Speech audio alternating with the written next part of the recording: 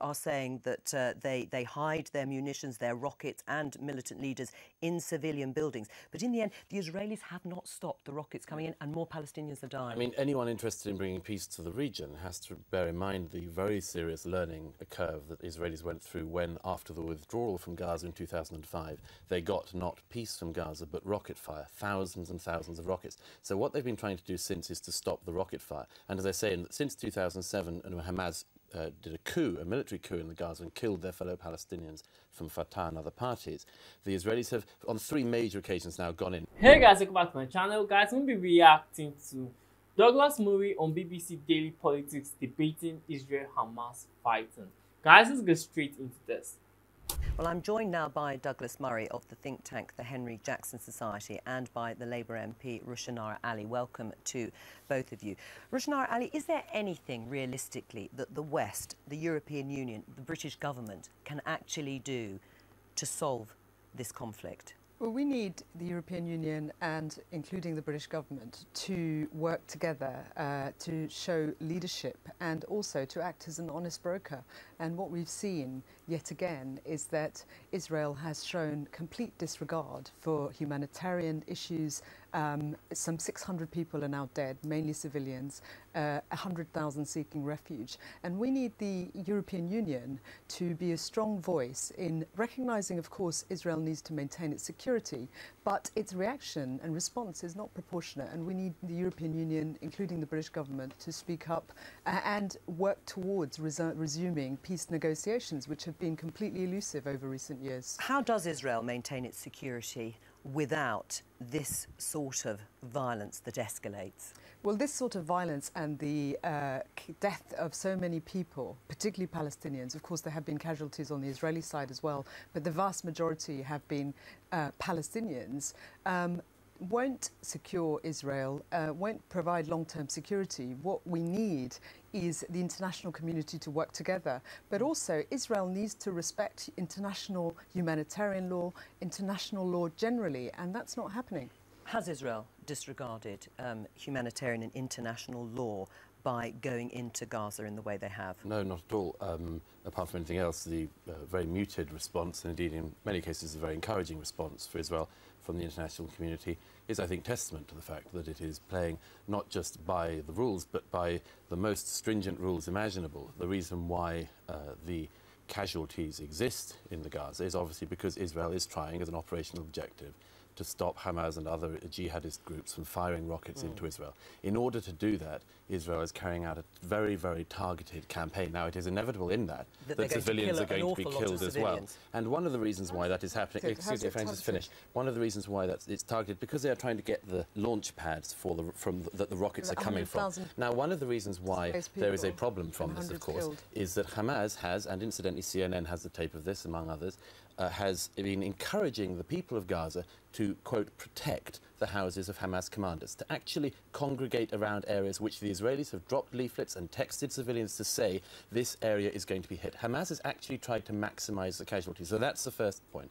As for how this is to be stopped, I think there's a very important thing that we do not, in, in the international community does not simply perpetuate this conflict mm -hmm. in trying to stop Israel from achieving the operational objective of stopping the rocket fire. It, the international, right. this is how this is the third All time right. now that this has happened, well, and I would suggest it's more than the that, third time. No, the actually. third time there's been, this exchange since 2007. Right. Okay. I mean, we'll look at the operational and, and, and what actually both sides are hoping to achieve. But Ali, you told a demonstration at the weekend that David Cameron had failed to show international leadership. My party is with you and the Labour Friends of Palestine are with you.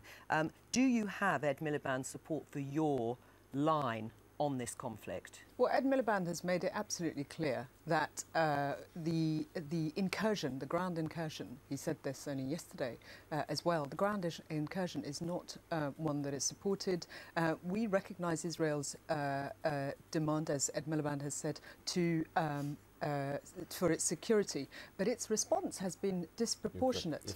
And the point about international leadership is if you look at what David Cameron said in 2010, he described the blockade of Gaza as an open prison. Uh, Gazan people are suffering. Uh, and what there seems to be a but collective is that amnesia. Of Hamas as well There's, as Israel? of course, these groups, the point is that the public the public, in, Palestinians are suffering, and the international community has a responsibility to respond to Right. the needs of those people. I must just ask you, uh, Douglas Murray, on, on the issue of operations, the last 10 years there have been a series of ground and air operations by the Israeli Defence Forces on Hamas, um, and there are at least half a dozen of these. The rockets still continue to come into Israel. So the argument could be are these Palestinians, innocent Palestinian civilians, losing their lives for nothing? The Israelis are not achieving their aims. The rockets continue from Hamas, and all right, you are saying that uh, they they hide their munitions, their rockets, and militant leaders in civilian buildings. But in the end, the Israelis have not stopped the rockets coming in, and more Palestinians are dying. I mean, anyone interested in bringing peace to the region has to bear in mind the very serious learning curve that Israelis went through when, after the withdrawal from Gaza in 2005, they got not peace from Gaza but rocket fire, thousands and thousands of rockets. So what they've been trying to do since is to stop the rocket fire. And as I say, since 2007, and Hamas uh, did a coup, a military coup in the Gaza, and killed their fellow Palestinians from Fatah and other parties. The Israelis have, on three major occasions now, gone in. Now, the problem with this is that the international community tends to allow Israel some weeks in order to achieve the operational objective. They're And going then- to lose then- then- international support, exactly. aren't they, Now, the- Israel, the- and the- the crucial thing, just to add on this, is it is very important that Israel is allowed to win at some point. The international community is quite good at prolonging the conflict precisely by not right. allowing Israel to achieve what its does a win, operational What does objective. a win look like in, this case? I mean, can there ever be a military solution to this problem of particularly Gaza and Israel rather than the West Bank and Israel? It's a platitude, but it happens to be true here. There are going to be no winners here, whatever the outcome. Uh, I think that, you know, if I can speak personally, my, my heart is rather with what Rushanara says. However, I have uh, two caveats. One is, I really dislike the tendency, particularly from the media here, always to put Israel in the dock here. Um, the truth of the matter is that the people of Gaza actually voted for Hamas. And they voted knowing what would happen. Hamas has been very clear it has no intention of, of making peace with Israel. So actually, you know, this is a horrible, cruel thing to say. This is a result of a democratic outcome. And by the way, the, the, the really bigger issue here is Egypt, because that's what's really made the big difference here. So I think. And the- Egypt is, worried also, is also worried about being on the the- border the, with the, Gaza. The peculiar thing is, Israel and Egypt, relative to Gaza, are in exactly the same Hmm. position right now. So I think that the, the notion of the way that we tend to report this, which is it's Israel versus suffering Palestinians, is just not right. That's. Right. not what this is about. I mean, Rushanara Ali, what is it that Hamas wants to achieve? I mean, what is it? I mean, Trevor Phillips says that people voted for Hamas as opposed to Fatah, to the Palestinian Authority in the West Bank. They voted for Hamas knowing that they would be much more hardline. So, what is it that they want? I hope what Trevor's not saying is that by voting for Hamas, those who voted were um, in some way uh, are now uh, deserve or you know the punishment, collective punishment that is now being It's not espoused. punishment, that's an can I- let me outrageous thing finish. to say. Let me finish. That's But an the- but- but thing You know it's that's not what I'm it's- I hope, at all. I, hope- I very much hope not. But the, the point is that this is this cycle of violence is going on and on. Uh, the fact is that the Palestinians have lived under occupation, and Gaza They're not uh, under has occupation. been. They it- have their own they state. Are, they have the their- that's Gaza is- nonsense. Is, is a state, That's nonsense. and it is And run by Hamas, and they had one election, The which, as is the Trevor people- said, the people there's voted for Hamas. Stop Hamas then killed the other, the opposition, and they've never had an election All right. since. But they could have a state. So let's if have- they let- wanted a state, they could have a Let's state. let Rushanara finish her point. You're saying that they are living thing is, there seems to be a bit of an um, bit of amnesia here about the history of what's happening in that region and the fact that Palestinians don't have a state.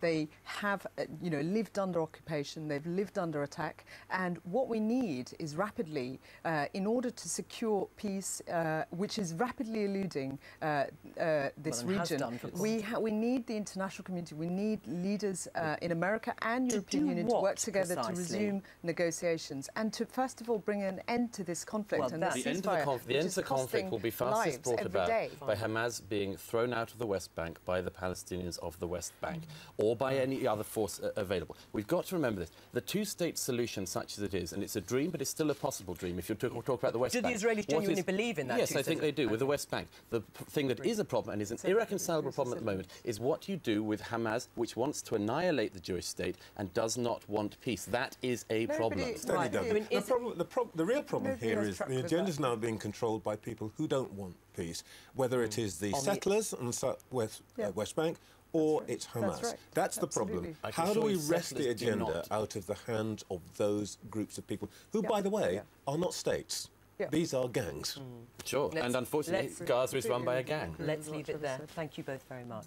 Let me say this the way I think Zach and I said it. Let the little suffer for let the minority suffer for the majority to enjoy.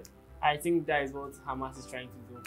To eh, Zach and I said it in a form of because a child was crying, so it was like take a child outside. So your child is a minority, like it's you and him than for you to disturb the whole conference.